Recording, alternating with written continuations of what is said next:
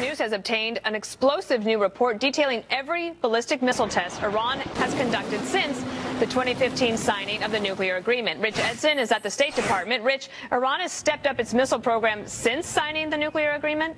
Uh, it has, according to this report, Dana, 23 ballistic missile launches since the signing of the 2015 Iran nuclear agreement. The report obtained by Fox News by the Foundation for the Defense of Democracy says, quote, the Islamic Republic has invested considerable time, energy, resources, and prestige into its ballistic missile program. The Islamic Republic has promised to grow its missile program considerably. Now, the Iran nuclear deal only covers Iran's nuclear behavior.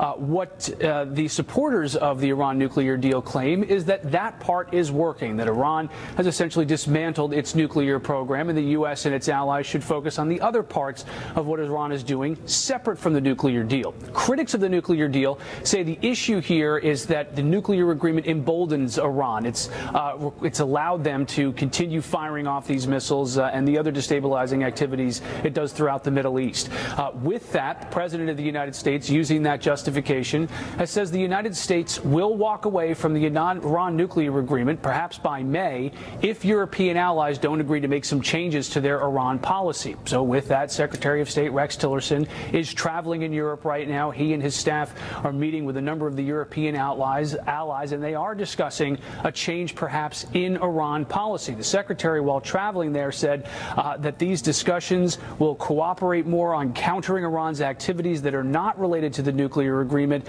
activities and concerns like arms exports to Yemen and elsewhere, and of course, those ballistic missile launches, uh, the 23 of them that the U.S. and the world have witnessed over the past uh, couple of years or so. Now, the UK's Foreign Secretary Boris Johnson says that the European allies are willing and open and actually want to address the aspects of Iran's ballistic missile program, though it's still an open question as to how much they're willing to pursue that. Back to you, Dana. All right, Rich Edson, thank you.